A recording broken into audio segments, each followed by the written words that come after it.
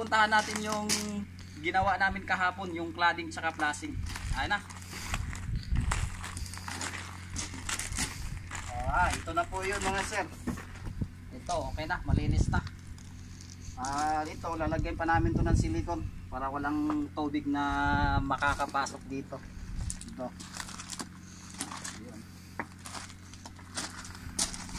Ah, tapos yung support. Okay na support. Tapos ah, ito na yung flashing na sinasabi ko sa inyo kahapon na kinakabit namin ito. Yun. Ah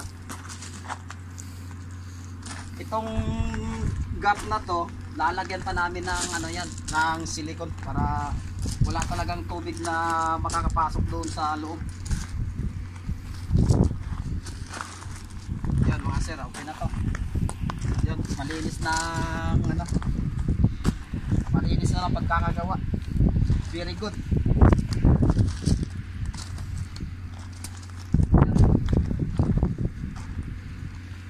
Tsaka ngayon naman, ang gagawin namin ay yung ah yung lower tsaka yung connection ng motorized damper doon sa generator room.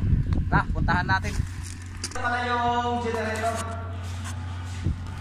Yung kakabitan namin ng connection ng para doon itatapon yung hangin, na pinaka-outlet niya. Air outlet. Dito namin nakakita. Dito namin nakaisan mo ngayon ng Sandra Aloder. Yun. Tapos ito yung kakabit namin.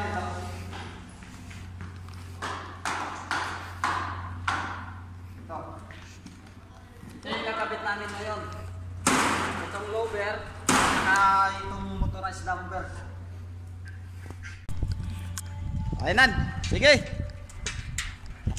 Binubuhat ni nila. Kakabit yan ngayon.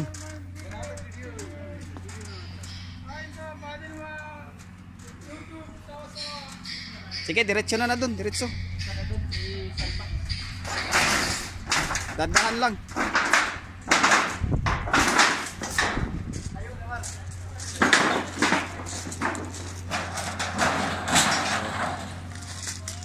Sa butas na sa butas na 'yan, diyan namin ikakabit 'yan mga sir. Yan, pa ganyan. Yun.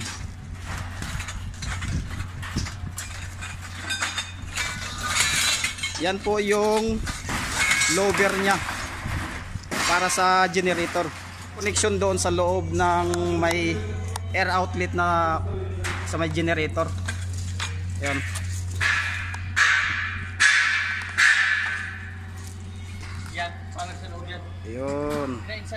Ayan na yung pinakaloob niya.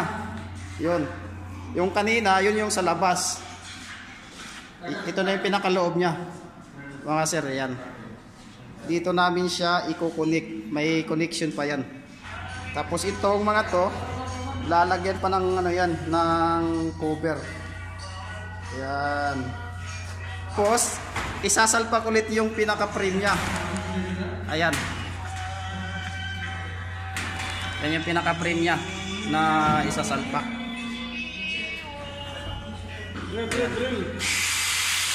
Fix to po, mga sir. I-screwhan namin yan dito. Yan, may screw yan dyan. Dito may mga screw yan. Tapos, ito, lalagyan namin to ng fisher. Para hindi na para matibay siya at hindi na gagalaw, hindi na matatanggal. Ito naman yung ginagawa sa mga kasama ko. Ito. Ayan. Lalagyan niya ng cover. Eh, sadik, kali. Ah, okay. Ayan. May yung mga butas na yan, may cover po yan. Ayan. Ipipix na nila para hindi na siya gagalaw. Kami ko yung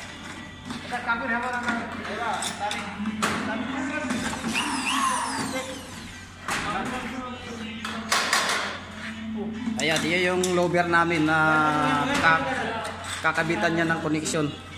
Ang, ang kasunod po yan, yung connector na yan mga sir, dyan po namin ikakabit yung motorized dumper. Mamaya ipapakita namin sa inyo ulit yung motorized dumper. Ayan yung pag-fix namin sa ano, yung koneksyon ng connector at saka yung lower. Yan. Screw balik. Ayan.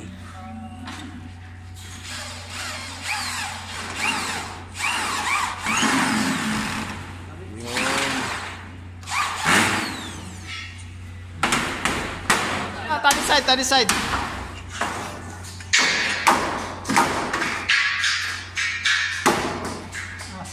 Ayo push, push.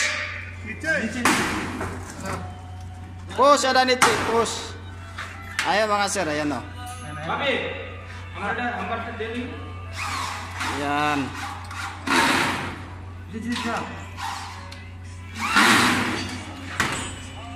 Saka yan, papaikot yan.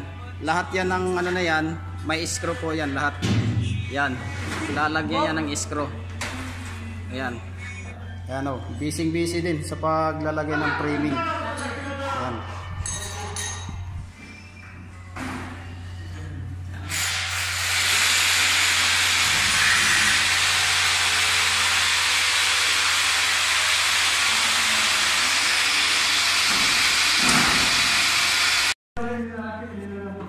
Ah, ito na mga guys. Ikakabit na namin tong ano. Tong. Bago namin ikabit to, kailangan itong joint na to. Yan. Dapat may ano yan, ito ito may gasket. Gasket po 'yan. Tsaka yun yung loob. Yan. Bali ikakabit na po namin.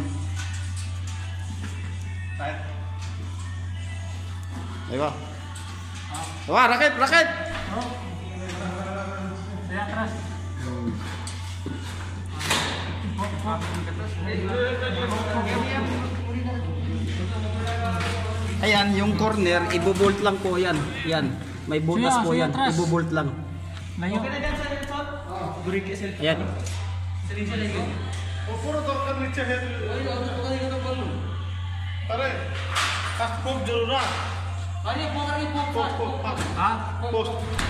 Ay, basta lang ng pop, pop. Ngayon, ngayon, ngayon. Wait, Mia, Mia. Ayan po, ganyan po namin kinakabit yung motorized dumper. Yung motorized dumper niya, nakakonect doon sa lower. Silip ko na yun. Yan doon sa taas. Yan. Tsaka, tsaka ito guys, ito yung motor niya. Ito yung motor niya. Dalawa po yan, dalawang motor. Kasi malaki po siyang motorized dumper. Bali, ang size nitong motorized dumper na to, 2 meters by 2 meters. Ayan, ganyan na po.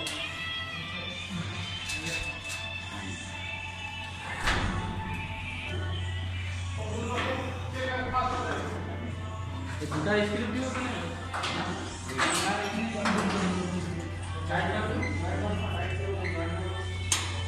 Ito yung pag-install. Ibubolt lang po yan dyan. Yeah.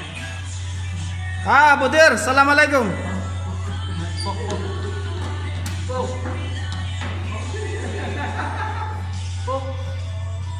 Yan po yung modern namin dito. Ito. Alright, alright,